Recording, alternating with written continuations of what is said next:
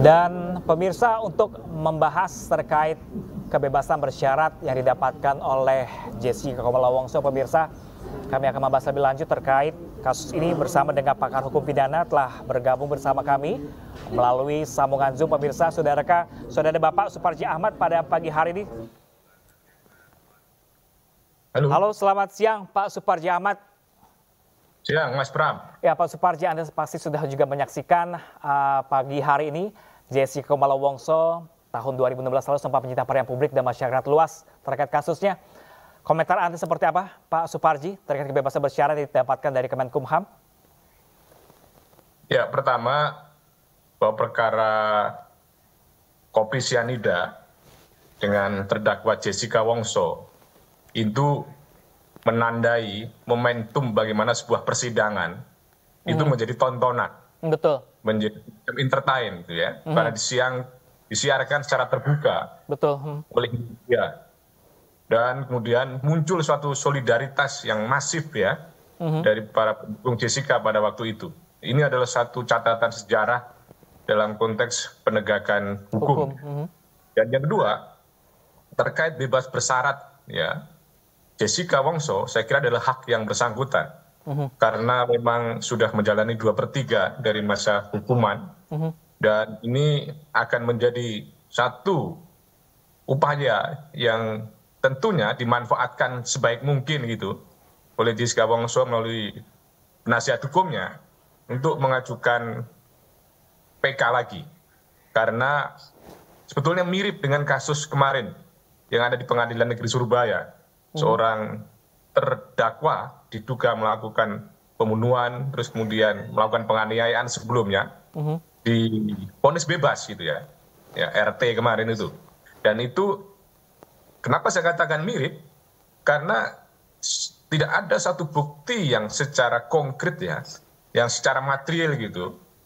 Kapan Jessica Wongso itu ya beli kopi cyanida yang mengandung racun terus kemudian kapan memasukkannya, terus kemudian kapan korban meminumnya. Uh-huh. Tidak ada bukti material ya, mhm. CCTV uh-huh. atau kemudian saksi-saksi yang melihatnya. Demikian pula dalam kasus yang Surabaya kemarin itu bahwa tidak ada bukti yang kemudian CCTV misalnya yang secara ya secara terbuka, secara terang benderang, misalnya bahwa korban itu kan semula bersender di mobil, tapi karena terhalang oleh mobil sehingga CCTV tidak tahu apa yang terjadi, apakah kemudian menyebabkan terseret dan lain mhm. sebagainya.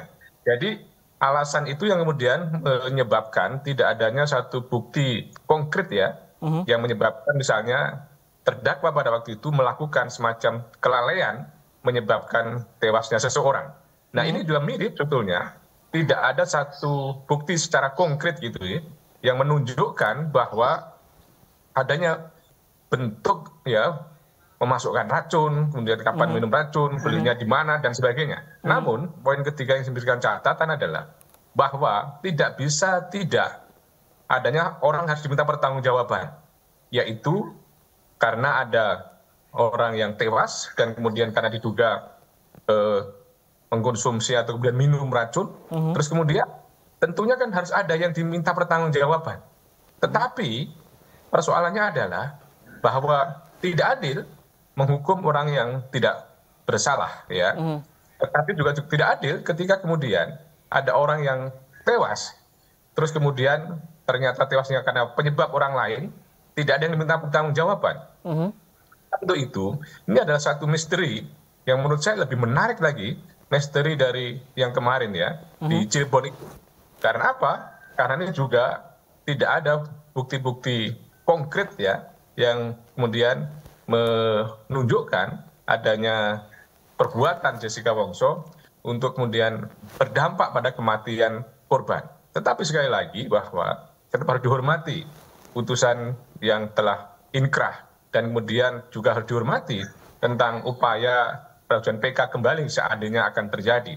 Jadi bebas bersyarat ini adalah satu satu hak yang bersangkutan uh-huh. setelah menjalani ya dua per tiga dan berkelakuan baik itu.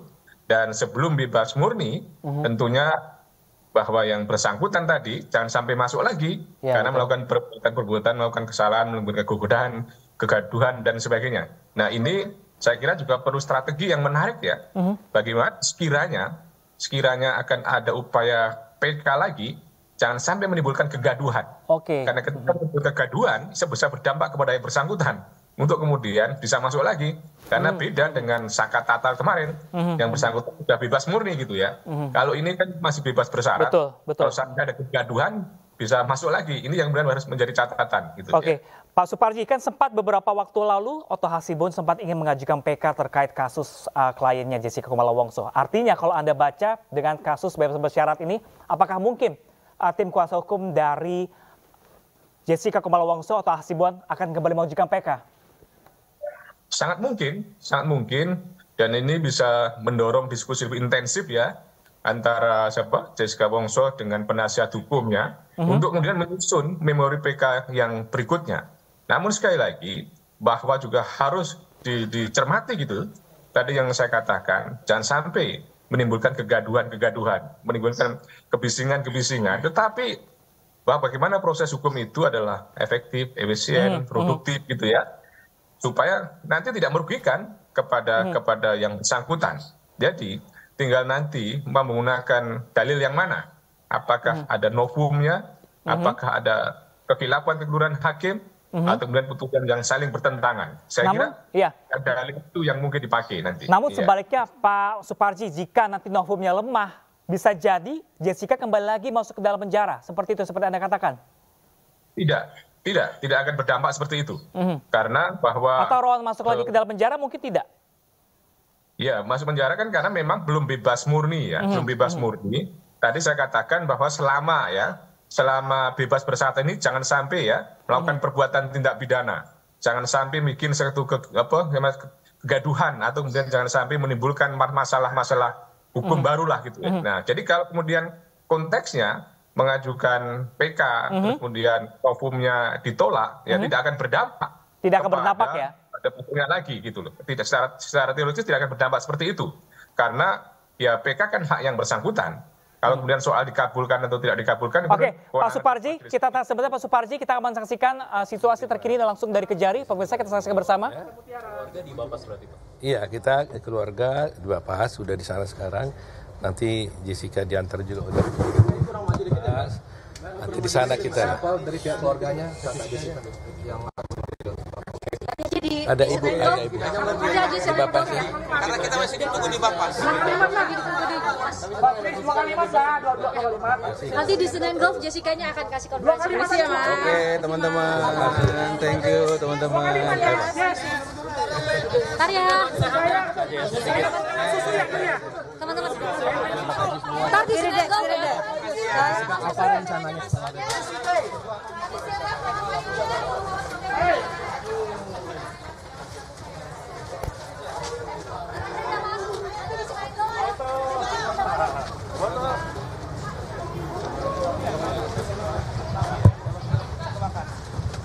langsung ke mobil kami. Ini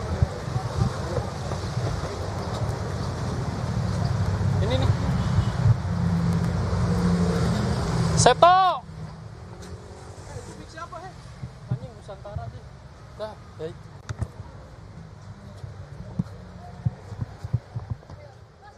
Nusantara, Nusantara.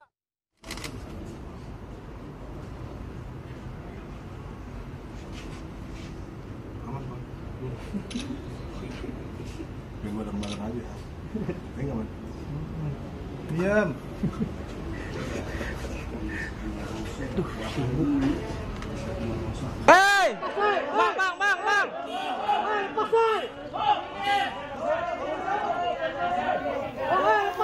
Ya, pemirsa baru saja kita saksikan bersama pergerakan selanjutnya Jessica Kumala Wongso didampingi tim kuasa hukumnya dari Kejari Informasi kami dapatkan Jessica akan menuju ke Balai Pemasyarakatan daerah Cipinang, Jakarta Timur. Dan nantinya ketika di Balai Pemasyarakatan Jakarta Timur, pemirsa, Jessica akan diserah terimakan ke pihak keluarga, pemirsa. Dan tim Ayus, pemirsa, segera mengikuti perjalanan Jessica Kumala Wongso menuju ke Balai Pemasyarakatan di kawasan Cipinang, Jakarta Timur. Dan inilah pemirsa visual iring-iringan kendaraan Jessica Kumala Wongso Nantinya di Balai Pemasyarakatan diinformasikan pihak keluarga juga sudah menanti di sana. Ada kegiatan serah terima antara pihak Balai Pemasyarakatan untuk menyerahkan Jessica kembali ke pihak keluarga. Dan pemirsa masih terhubung bersama Pak Suparji Ahmad melalui sambungan Zoom. Pak Suparji, masih bersama saya Pak, Pak Suparji. Ram. Ya, Pak Suparji, kita sambung lagi Pak Suparji sambil menanti Jessica Kumala Wongso akan menuju ke Balai Pemasyarakatan. Pak Suparji, jadi Anda katakan jika nantinya Jessica dengan kuasa hukumnya mengajukan PK, misalnya ingin memberikan nama, ini tidak ada kerawanan untuk dia gara-gara PK akan kembali lagi ke dalam penjara. Tidak ada ya Pak Pak Suparji ya? Tidak ada, tidak hmm. ada kerawanan dalam konteks ya untuk hmm. kembali masuk dalam penjara dengan hmm. argumentasi pengajuan PK yang hmm. kemudian misalnya tidak dikabulkan. Hmm. Tetapi alasan-alasan yang kemudian bisa menyebabkan gitu, hmm. menyebab masuk lagi itu ya misalnya adanya perbuatan tindak pidana lagi atau kemudian melakukan membuat perilaku perilaku keonaran ya mm-hmm. atau kemudian perempuan tidak baik kan gitu tetapi kalau kemudian mengajukan PK dan seandainya juga tidak dikabulkan itu saya kira tidak berdampak kemudian bebas bersyaratnya dicabut. Namun yang penting adalah bahwa dalam kaitan pengajuan PK kembali hmm. ini adalah selain untuk kemudian rehabilitasi hmm. adalah bagaimana ada putusan bebas gitu dinyatakan tidak bersalah hmm. seperti dalam konteks kasus Saka hmm Dalam konteks kasus zakat tatal, kan orang mungkin sedikit bertanya, mm-hmm. apa urgensinya orang dia sudah di luar penjara kok masih mengajukan upaya hukum? Sangat penting buat masa depan yang bersangkutan. Mm-hmm. Sangat penting buat nama baik yang bersangkutan.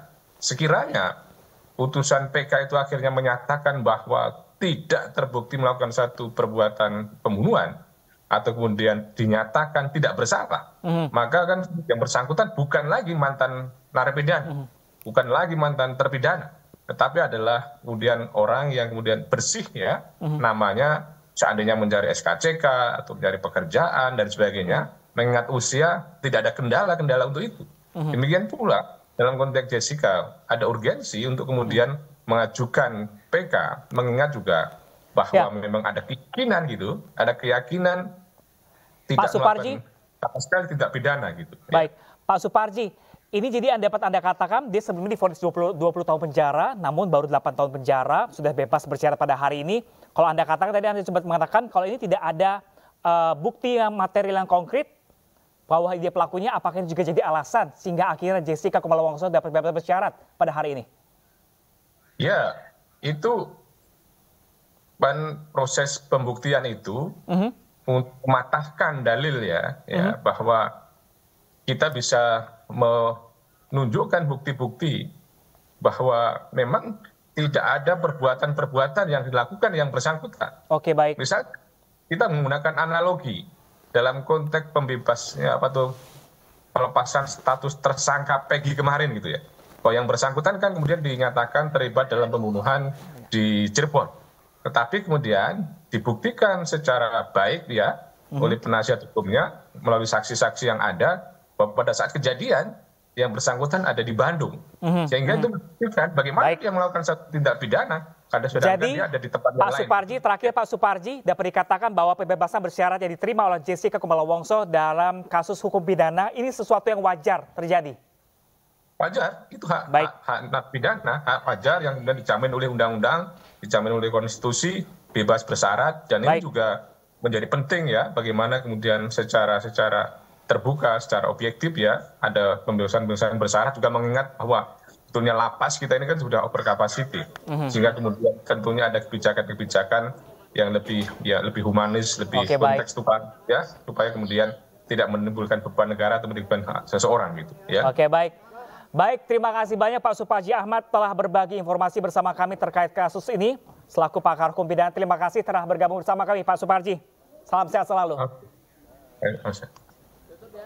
Dan pemirsa demikian breaking news kali ini pemirsa perjalanan dari kebebasan Jessica Kumala Wongso masih akan kami lanjutkan di IUC yang sesaat lagi pemirsa. Jangan ke mana-mana, tetaplah bersama kami.